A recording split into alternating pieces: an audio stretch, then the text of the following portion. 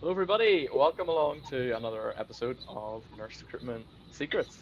This is the leading webinar and podcast series on improving your nurse recruitment and retention for the benefit of your hospital system, your healthcare provider, and most importantly, nurses. So today I'm excited because we've got another heavyweight guest, um, Dr. Vi and Antrim from Cone Health.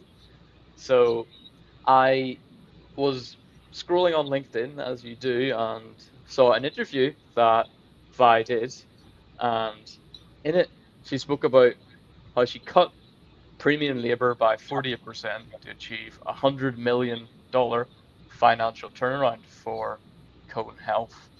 Now, I wanted to dig into that and find out how she did it and what's that all about. So, here's the background. Most hospitals have accepted that extortionate labor costs and depressed margins are here to stay, but Dr. Vi thinks otherwise. In collaboration with other executives, she contributed to a $100 million financial turnaround in Cone's 2023 fiscal year. Her achievements include a reduction in premier labor costs of 48%, and we'll dig into what that means in this podcast, and also shift incentives by working um, by almost 50% by working with a cross-functional team. So let's jump into it. How are you doing today, Vi? I'm doing great, and I'm happy to be here, Adam. So thanks for having me. I'm excited to share what we've done at Cone Health. Absolutely. So, uh, first of all, I'm curious to know. So you, what's your career trajectory? So let us like when did you start as a nurse, and then how did you move into CNO and get your doctorate? Yeah. So um, I started out in accounting because I thought math, computers, and money. I like all of those. But sometimes the Lord has different plans for you than you have for yourself. And so I actually went into nursing as a second career. And truly, I have loved every step along the way. So I worked as an uncertified aide when I was going to nursing school, got my LPN partway through, worked as an RN, and really just kind of came up the ranks in nursing. So I've done all the things um, and spent the first 11 years of my career in clinical practice before moving into leadership. And the reason I went into leadership was not because I didn't leave the bedside because I didn't love the bedside. Like I loved the bedside, but I wanted to be able to do more for more people. And so the way to do that is through leadership. I found I love the patients, the people who come with the patients, and the people who take care of the patients. And so leadership was just a natural foray for me into that. So um, that's kind of how I got to where I am today, yeah. just kind of going right on up the ranks. And how did you make the move into leadership? Uh, actually, you know, a lot of my career I was tapped um, to go into it, but when I was getting ready to graduate with my bachelor's degree, I wanted to move into a charge nurse position. In the hospital where I was at, they had dedicated charge nurses. So that was really my first step into leadership. And then uh, some of the, they called them nursing care coordinators or nursing supervisors or administrative coordinators. I've seen them called lots of different names. Mm-hmm. Um, but some of my nursing care coordinators I said, you know, Vi, would you ever want to do this job? And so I said, you know, I do think I would like to do that job. And so that got me into being able to provide coverage to the entire hospital on the off shifts. I worked primarily nights. And uh, it was a big level one trauma center, so 607 beds. Um, mm. So it's not small. And within that trauma center, they also had eight inpatient psychiatric units. You had your ED proper for medical. You had a 52 bed psychiatric ED. So, um, you know, from there, when people see what you can do, they see that potential, you know, then I've just had people tap me and say, Hey, would you be willing to come do this? Would you be willing to come do that? Um, so a lot of my career has been people tapping me on the shoulder to say, hey, I could really use you here. Um, and of course, the whole time, because when I saw that I was being tapped for those leadership roles, I continued to pursue my education and get involved in professional organizations. Um, when I was a manager over dialysis and uh, a couple of hybrid ORs, the chief operating officer at that facility said, Hey, I want to bring you to a board meeting with me. He was the regent for uh, that section of New York for the American College of Healthcare Executives. And so I already had um, joined that organization previously and was a fellow. And when he brought me there, um, in my second meeting, I was co chairing the program committee. And so I got to meet a lot of executives all across the region where I was. So I got very comfortable being in front of executives fairly early in my career, which I think was a good thing to have happen. I, you know, I really got to interact with them, learn some of the norms and see how people interact, what are the things that they're thinking about, so that I could go learn more about those things. So I always did my own professional development plan every year, yeah. and that also was helpful. So ACHE is a big part of my career too. Okay. Yeah, because I know some nurses listen to this, and uh, a lot are ambitious. It's great to hear how you did that and put your your best foot forward, and I think that's one of the benefits of working in a big trauma center as well. There's lots of opportunities. So let's jump into Cone Health. I'd like to first get you to take us back to 2021, 2022, kind of pandemic times, and how did the the situation for needing to make financial change come to be? What were some of the things that you were overspending on as an organization? Some of the the financial stresses. Yeah, so we lost 900 nurses during COVID out of a pool of about 3,500 that work in our acute care setting. So we lost 900 to travel nursing predominantly um, because of how high the rates were and things like that.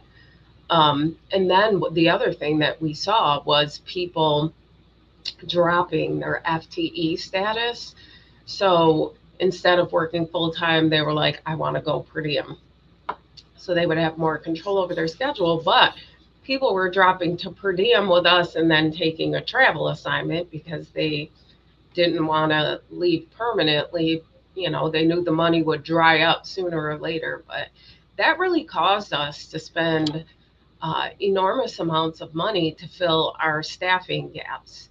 Um, as you know, the the staffing agencies greatly hiked their prices during COVID, and um, and it's not a sustainable model for any organization. You can't pay those kind of premiums.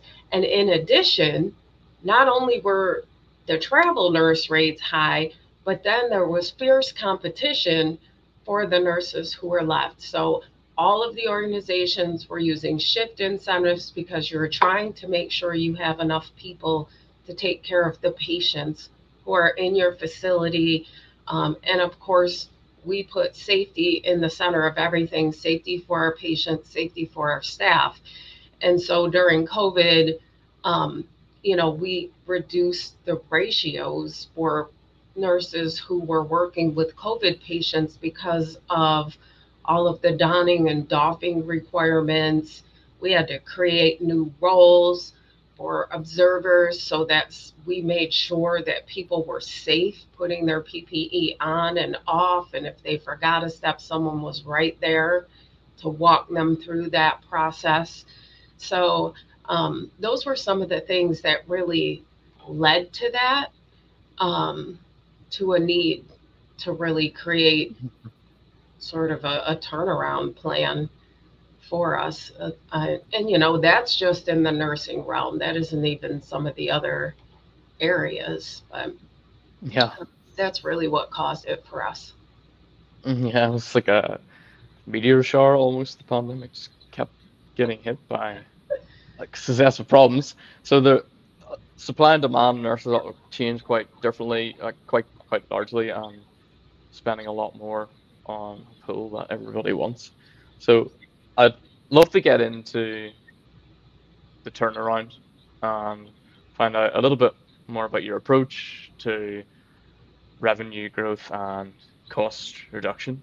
Could you tell yeah. us more about that? Absolutely.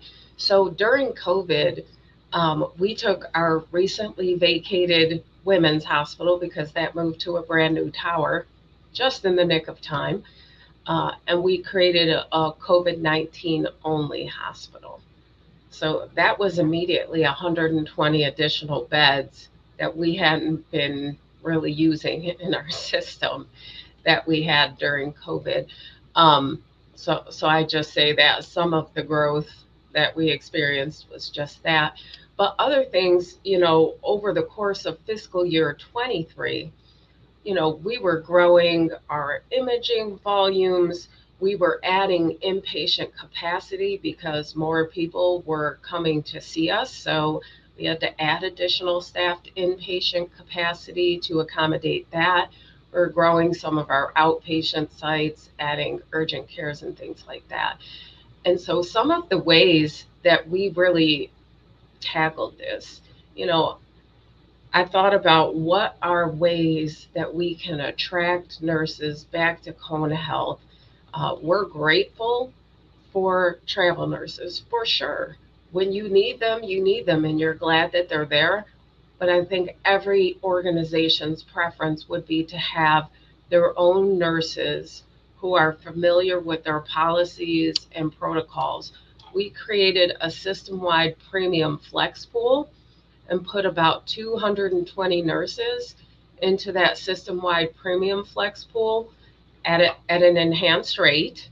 And then also, we thought about our staff who were here and how was that going to feel with them working alongside of those people. And so we put some stringent requirements in place with those roles. So while they were making a lot more money, they never knew where they were going to be from schedule to schedule because we would move them around within their area of competency. They had to be experienced with at least two years.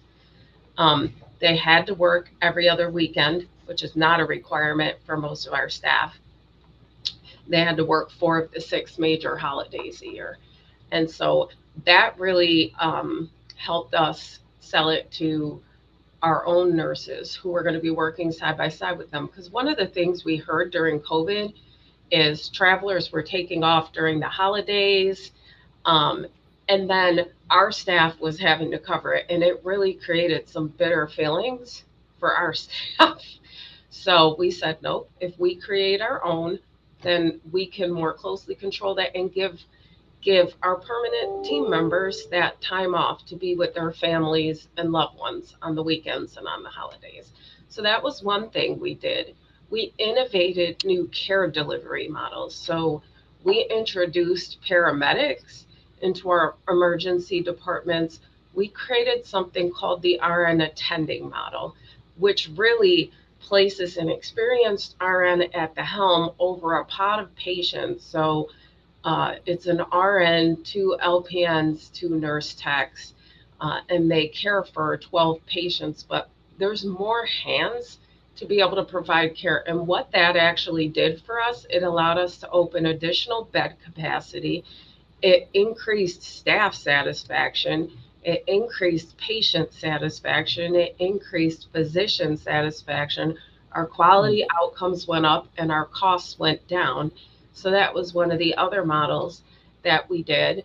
Um, we created an internal travel pool, which is different than our system wide premium flex pool because that internal travel pool is a non benefited position and they work six months out of the year and then have six months off, but they are Cone Health employees. So um, we did that. And then we created our own Cone Health conceptual framework for retention because it's not enough just to focus on bringing in new staff. You also have to focus in on keeping the staff that you have. And so we have now shortened the name for that to the stay MAC process but that is really action planning in collaboration with our staff on a unit by unit basis to create things that will be meaningful for them to have a healthy work environment. So we've done those things, and, and that can be anything like creating a Zen room on the unit, providing snacks, healthy snacks, sometimes unhealthy snacks, depending on the unit um, and, and what they want. Um, it can be things like doing social outings outside of work. It just depends on what that particular department wants. And of course, you know, we have continued to do um, compensation enhancements for our team members to make sure that we're staying competitive in the market. One of the things mm-hmm. that was new for Cone Health that I did was create specialty differentials for different areas. And that way, if we ever have to adjust because the market is moving in one particular area, we can adjust that particular area without having to adjust across the board. So it allows our dollars to be used smarter um, and, you know, in a more targeted fashion, if you will. And then finally, we standardized our shift incentive policy we had a lot of variation in practice when that came out. So standardizing that process and putting some rigors and protocols in place um, for approving that across departments has really yielded some great financial results. Hmm, okay.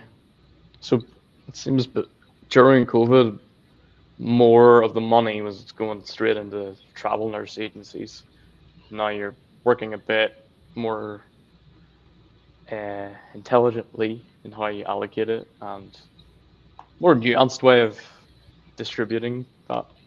Yeah, more of the money is going into the pockets of our team and less into the pockets of the agencies, which is what we wanted. You know, we also significantly dropped our rates uh, working with our agency partners. Um, we dropped the rates on our travel nurses, which also yielded significant results because when you don't spend the dollars there, you can reinvest it back into your team, which is where we want it to be. And on those, so the internal flex program and your internal travel program, would the nurse do you think, get a similar amount of pay as they would with a travel agency? Actually, I think our pay is more competitive than the travel agency for our system wide premium flex pool. Uh, they made a significant rate, plus they had benefits, you know, so they were fully benefited Cone Health team members. Uh, we locked the rate in for two years. Um, and, and so we filled those positions right away. And also with the internal travel pool. So those are non-benefited positions, but they're also a flat rate that's very, very competitive. We had those yeah. positions filled in less than 30 days. And then we also created some flexibility for our own team members, you know, through weekend option positions, um, in looking at different types of shifts that people wanted to work uh, being able to break full time FTEs into part time if people wanted more time with their family. Um, because not everybody wants to continue working the same number of hours. People did not want to pick up overtime and things like that. And so, you know, we really had to be creative in how we um, created new shifts and new ways of working so that people could have good work life balance. Yeah. Yes, because you said that creative labor strategies are a main driver of this change. Mm-hmm. Before we, I'd love to explore that more. Before we move on, you're a nurse yourself. I know a lot of travel nurses got used to the the high demand and the high pay during the pandemic. What would you say to those who feel a bit, I don't know, deflated at the moment now that the rates have come down? So I would say that you know, it was great to take advantage of it while it was there. And I don't think it was realistic for anybody to plan for it to be there. When you look at uh, the amount of the workforce that nursing comprises, it's almost half. And so when you have that many employees, you can't pay that number of staff what you would pay a physician, right? You just, that is not something that any organization can afford to do and uh, remain an organization that exists to provide healthcare and well-being to the communities that they serve. So, you know, one thing I was really glad about during the pandemic is that people universally realized the value that nurses bring to healthcare and that nurses were celebrated as a profession. That I think was really great.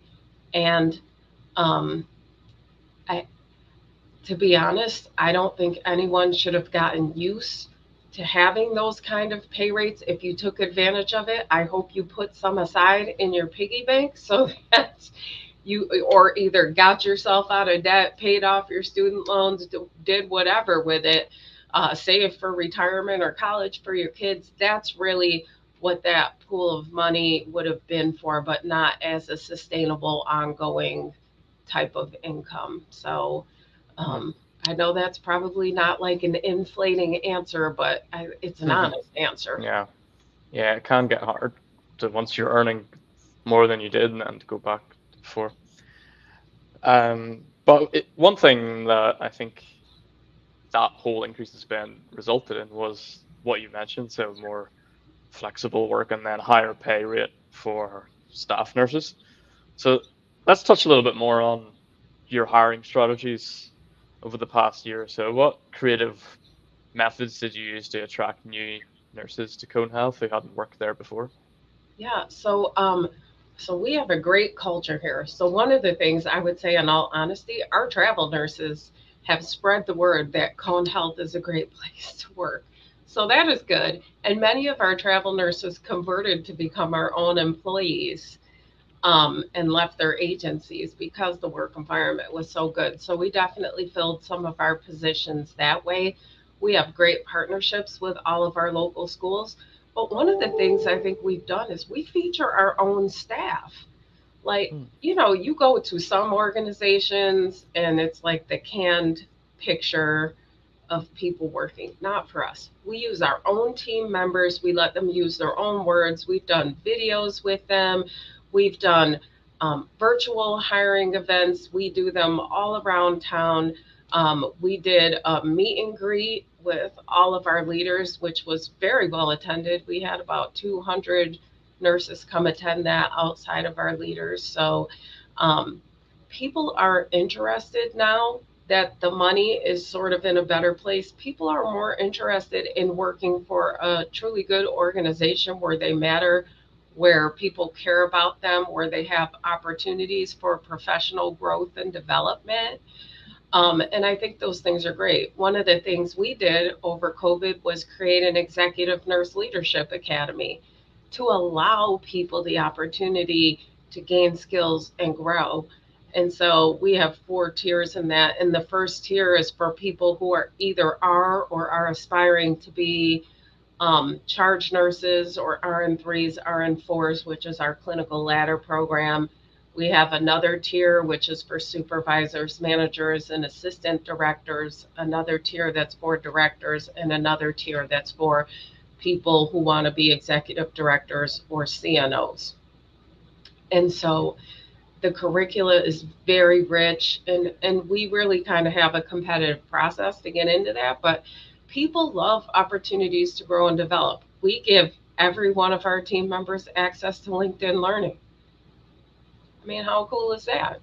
We so we do that. Um, we have a great professional development and education department. So we offer free CEUs to our staff, all these ways for them um, to grow within our system. And and that reputation is out there right? Not every place does that. We help people go back to school. We help them get certified or recertified, and not just with training, but with dollars, right? So there are some of those other um, type of financial perks that maybe don't show up in a salary, but are very much available to people. Um, people people love working here. So when we've done that, uh, featured our own staff and utilized them, we have referral bonuses for our own team members. So if they know somebody who they think would be a great fit and somebody that they would want to work with at Cone Health, we reward them with that. Um, so you know i think all of those type of things we offer relocation for staff nurses if they're outside of the area and they want to move to come work at cone health which is something you don't see everybody do um, so we really take a lot of time to invest in people and when we share that with people those are the type of things that draw people to want to work at cone health and the other thing I'll tell you that is an advantage for us is that we're a community health system. And so people who are very dedicated and want to be in service to a community, not everybody wants to work in an academic um, health system. They just don't. And so that community aspect is a real advantage for us, uh, for people who want to be embedded in the community. And of course, we encourage mm. that. We have inclusion networks, so people can be involved in network across the organization based on their areas of interest and and they have an opportunity to get involved in the community so Cone Health does a lot of things to support that, but those are some of the things that we've advertised um, as ways to get people in the door. Yeah, I like how you're playing to your strengths in the sense of some organizations that aren't uh, big academic like affiliate health system wouldn't be able to realize that that could be a benefit to some people, as you mentioned, more community focused and feel. So maybe not strengths isn't the right word, but what makes you unique and different is what you're bringing I'll out take there. it as a strength. yeah. um, um, and are nurses here applying and getting hired? Are they saying that's what brought them to the system, or are they saying something different? So, mostly what we hear from people who come to our system is that they're coming for the culture, that they've heard about us and heard about our reputation from others. And then, truly, um, at least a third of every one of my nursing orientations is people who left to go somewhere else because they thought maybe the grass was greener on the other side and they're like i want to come back home so a third of our people are people who are coming back to cone health on any given orientation and i think that speaks volumes too when you have all the options available to you i'm in a really competitive market where i am um, you know i have Novant and Atrium Wake Forest Baptist. To my west, to my east, I have Duke and UNC, and to my south, I have Atrium proper. So um, it's really competitive. So you have to pay fairly and competitive, but I, I'm not the highest payer in the market, but I do offer uh, a lot of other things to nurses that are important to them, whether it's flexibility, whether it's, you know, great leaders uh, within our system who are going to care. We help people grow. Cone Health very much invests in its team members. And so, all of those things, uh, we get a lot of word of mouth promotion within our region for people wanting to come here. Yeah, we did a lot of work with Vidant Health as they were known back then in North Carolina and find that word of mouth was huge uh, for for that sort of region as well. So I think it's something really to play into, and I'm glad to hear that you're doing it successfully. I'd like to flip really onto retention now and talk about uh, one third of nurses are returning back. How do you how do you make sure that they stay for good and then stop new staff from wanting to leave? Yeah, so I think that stay map process that I referenced, that conceptual framework for retention, we're seeing some really good results from that. So we've had some units that have decreased their turnover by as much as uh, 25 to 30 percent. And then as an overall enterprise, we've reduced our turnover by 10 percent. And that's just by action planning with our staff, you know, making things easier. So we've done some things. Um, I worked with uh, Kathy Cochran, who is our Chief Nursing Informatics Officer, to convene a team to reduce documentation burden for our staff, right? Because when you're out there rounding, people are like, oh, I'm always spending all this time charting, blah, blah, blah. So we're like, how can we make this easier for people? So we convened a team and we just got our data back. We have given every single nurse, every shift, 20 minutes back in documentation time. That's 5.6 days a year that our nurses are not having to spend documenting, that they can either spend finding joy in spending time with their patients and taking a bio break or a lunch break, you know, those type of things where they really can recharge and refresh. Um, I already talked about some of the things we've done Zen rooms and social outings, snacks, breaks. Um, so some of those things have been really important. I think one of the things that our staff, I would say, as an overall theme across units, has talked about is missing that connection piece that didn't always happen during COVID. People were in masks all the time. You couldn't see people's faces. Mm-hmm. Um, you know, people weren't really able to spend some of that time together. And then, really, we have a strong shared governance within our organization. So our staff really have a voice and a say in changes that impact their practice. We don't do any practice changes without our frontline nurses signing off on that. Um, we created a nursing strategic plan, which again went from our executive leaders to our frontline nurses and leaders. And uh, so many, many fingerprints went into creating that nursing strategic plan that we're now executing on. So those are some of the things I think when people feel like they have a voice, they have a say, uh, they have people who listen and care. When we round on the units, we are always asking, do you have everything that you need? Sometimes it's easy fixes. It's a piece of equipment that's broken that we can go ahead and get fixed right then and there, right? For some of our staff, it was really around safety issues, right? With workplace violence escalating. So we did things like we brought our different police departments here and we did town halls with our staff. And we've instituted weapons detection systems. And, you know, we've done active shooter trainings. We've done a lot of things um, to try to help keep people safe because that is one of the things that is a core premise for us. We need people to feel safe when they come to work. And uh, we also want our patients to feel safe too. Mm. but, you know, those are some of the ways in which we've been able to retain our team members. And then also, like I said, that financial investment in their growth and development for anyone who wants to do it but even if they don't want to move beyond the position where they are, we have committees and things for them to be able to plug in to grow in place if that's really what they desire. So we do something called iCompass conversations where we meet individually several times a year with each staff member and we really find out what's important to them. What are their goals? And how can we help them achieve their goals? So those are the things that mm. kind of help keep people.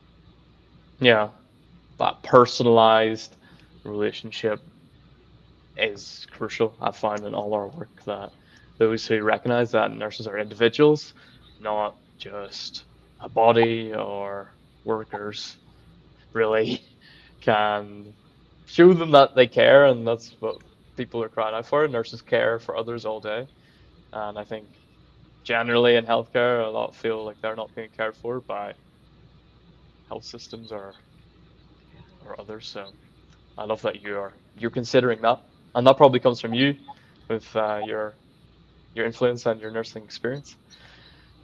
So you touched upon safety, and I've found that to be something top of mind for many at the moment. Partly driven by news stories you see by assaults or attacks in or outside a unit. But it's hard for nurses to understand how much is going on, particularly on a, a local level. And it brings us on to metrics. How would you track how safe nurses feel at your facility, or how do you track if you're meeting those iCompass objectives or some of the metrics that you could use? Yeah, so for iCompass, we definitely track whether they're completed or not. We do them three times a year, sometimes four. Um, so we track that and we track any leader who uh, hasn't had those conversations and there is follow up behind that. Um, in terms of safety, we absolutely, so one, we ask the questions, right? We ask it on rounds. We ask it um, in our employee engagement and our AHRQ safety surveys. So we ask directly about safety um, to hear right from the staff, like, are you feeling safer, right? We just instituted, we use um, HealthStream as our electronic learning platform. So currently, right now, we have uh, an HLC that's assigned to people, and it's around workplace violence. And at the end of that, there's a survey that you have to answer, and it's all about safety. So we have um, pretty close to 6,000 responses at this point, and there's some really good easy, actionable information that we're going to take and start implementing some of the feedback directly from our staff. Um, but those are some of the things we also look at um, patient on staff assaults mm-hmm. and assaults with injury. We also look at, um, you know, our incident reporting system to see what has been put in there. We uh, implemented some new um, initiatives around psychological safety. So really, we're teaching people how to CUS appropriately at Cone Health. Um, to say I'm concerned, I'm uncomfortable, this is a safety issue, and then we take it a step further and empower our staff to stop the line. So whoever whoever it is, if they are not comfortable, they have the opportunity to stop the line right then and there, and everything will stop. So, um, you know, those are some of the things that we've implemented. We're getting ready to launch some town halls to talk about all of the things that we've done. We have a workplace violence committee uh, that's pretty robust, and we just instituted um, a workplace, uh, an employee advocate, if you will. So if somebody does get injured on the job through a workplace violence um, event, that somebody will walk them through step by step. You know, we had to do things. We we did have to meet with our local law enforcement because uh, there there was the perception out there for whatever reason that our staff couldn't file charges. So we brought them in and we were like, mm-hmm. okay, how do we file charges? Is this true? Is this what's being said to our staff? So it actually resulted in a really good dialogue where there was two way education. Law enforcement was taking information back to their team. And we also found some of our own internal processes that we needed to um, beef up, if you will, and and revamp and tweak a bit. So uh, you know, of course, we utilize cameras and things like that. People have personal panic buttons that they can use that prompt a security response. So, um, lots of different ways. We use de escalation training, STAR training for, in certain areas if people have to take anybody down. So, um, a lot of things have been put in place to try to help people yeah. feel safe and to equip them to be safe. Yeah, most of those are trackable as well, so mm-hmm. that's certainly impressive. And to kind of look ahead, metrics again will be inform a lot of this, but looking ahead to this year, what are some of the the challenges that you're you're working on for this year, and some plans to overcome them? Yeah, so I think, you know, we're obviously still working very diligently on recruiting because we haven't filled all of our vacancies, and that is our goal. So we're definitely working diligently on that um, and finding new ways. We're looking at uh, spreading and implementing uh, more of our RN attending model across the organization.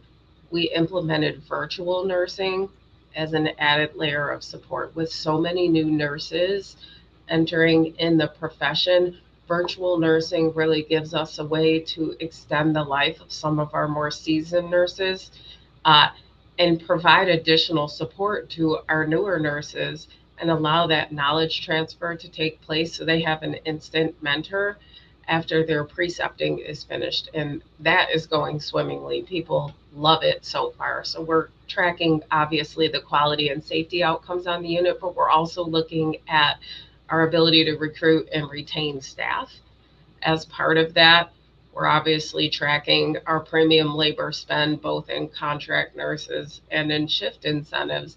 Um, and then we're tracking our satisfaction, our employee engagement and satisfaction results. So I'm proud to say that we did the RN survey questions on this last go around. We got the results last month and we improved statistically significantly on every single one of those questions.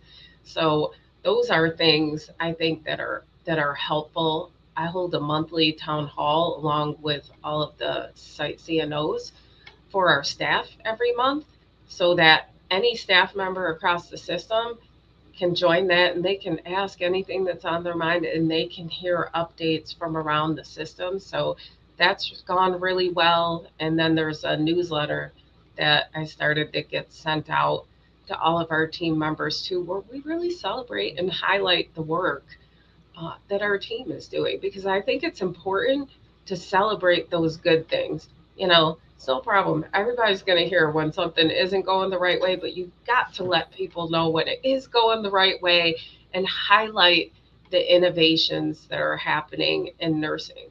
Like we have a group of nurses who created a very savvy product and it, and it's cheap. They make it themselves, but um, to be able to allow mastectomy patients to be able to take a shower so it holds their their drains and things so that they can go in the shower our patients love it our staff created it yeah. you know um, so some of those things that you can highlight for people that aren't necessarily a, a metric i think it's important to have both the quantitative and the qualitative information to be able to share with people uh, because both are important yeah sounds like you've got the knack for storytelling and you're able to share what's happening, but in a, in, I don't know, in an enticing way, and also give nurses the forum to do the same themselves. So, um, I really get a sensation from you that you're really close to what nurses want, and you're working on improving it every day. So, thank you so much for coming on, um, sharing this with us. Um, if yeah, if anybody wants to reach out, how can they get in touch with you? Oh yeah, the best way is through email. It's um, v i a n n e dot a n t r u m at conehealth.com. Um, and I really appreciate you having me on here, Adam, and allowing me to share some of the great work that my team and I have done at Cone Health to help contribute to the $100 million turnaround that we had here. Yeah, well, congratulations on that. Uh, thanks for coming on. So, if you'd like to follow our podcast, feel free to subscribe. And if you want to learn more about what we do here at Nurse Recruitment Experts and you're listening in, you can reach me on LinkedIn. We hope you reach 10 times more nurses than through the job boards, through our social platform. So, reach out to me or reach out to Vi if you'd like to connect more. And once more, thank you very much for coming on. Bye. Have a good day. Bye.